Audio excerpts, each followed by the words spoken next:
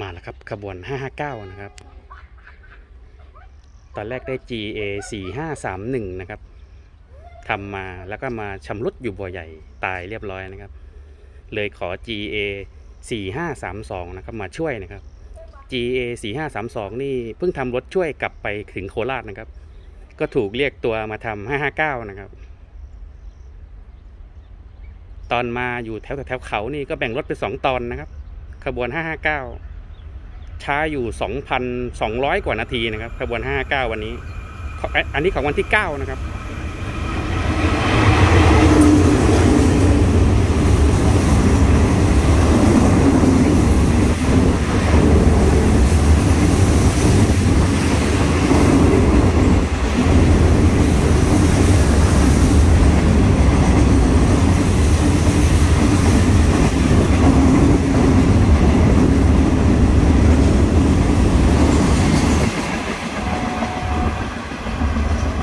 เยอะเลยนะครับ วันนี้